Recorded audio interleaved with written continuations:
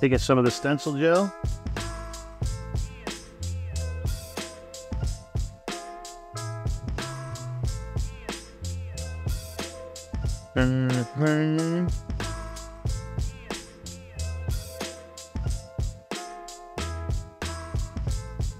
Okay, once you put that stencil on with the stencil gel, stencil it, stencil gel, you want to just kind of just kind of remove a little bit of the excess moisture.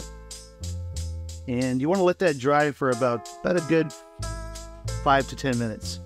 Really want to get that stencil anchored. Remember, uh, your stencil is the most important part of your end goal and where you end up. This is a beautiful treasure map here, and uh, the treasure is an awesome tattoo.